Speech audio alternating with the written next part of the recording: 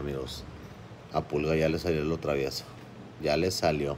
Miren nada más lo que está haciendo. Pulga. Oye, ya había durado mucho ese sillón, ese cojín. Miren, todo el día lo ha estado sacando. Miren todo lo que tiene. Ella nunca había tenido nada de eso. Por eso no la regaño. Quiero que sea feliz. Ahorita lo recojo. Y pues debería de, debería de corregirla para que no suceda en un futuro. Tenemos un sillón por allá, uno gris que las negritas le arrancaron las esquinas y les había puesto unos parches y ella se los quitó hoy. Se los volvió a poner y se los volvió a quitar.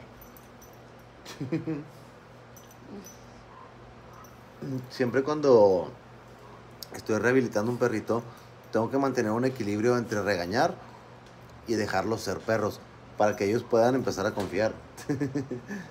a mí me da risa que hagan eso, pero ya estoy acostumbrado. Ya, ya sé. Que se puede tragar algo, sí se puede tragar algo. Pero no se lo está tragando, lo está sacando. Están todos dormidos, hasta el checolín está dormido aquí. No sé si se alcance a ver.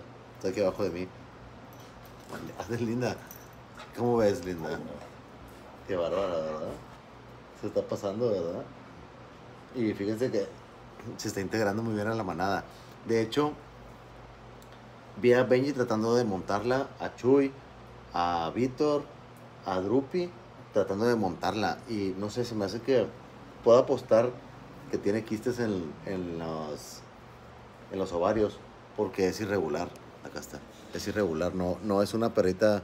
O sea, si, si ahorita los andan en celo, que no debería, porque tienen, sus cachorros tienen dos meses, tres meses, vamos a decir, eh, es, que es, tiene, tiene quistes.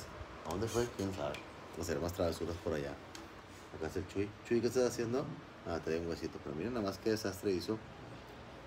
Yo digo que está bien dejarla porque no creo que en la calle pudiera haber tenido nada de eso, ni subirse a un sillón, ni estar adentro climatizada, como la Sandy, miren nada más.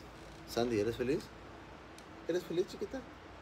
Ay, qué bonitas están ustedes. ¿Y tú? Yo también soy estoy rodeado de felicidad. En cualquier parte donde yo esté, ellos están. Si es en el terreno, o si es en la casa, o si es aquí en la oficina, como se llama la oficina, ellos siempre están alrededor de mí, siempre, siempre. Miren, está abajo el chocolín. Y por acá está Víctor. Siempre me rodean. A veces no me dejan moverme. Como ven, el desastre de la pulga. ¿Cómo ves tú, Linda? ¿Qué opinas? ¿Qué opinas de eso, Linda? ¿Podrías comentar? Hasta la batida dormida. Kira, Pulga, ¿dónde estás? Traviesa, ven. Traviesa pero educada. Nunca se ha hecho pipí dentro de la casa ni popó. Es súper educada. Es es súper especial la perrita. Es muy, muy buen perrito. Pues sí, juega. Pero eso es síntoma de buena salud, ¿no creen? Comenta.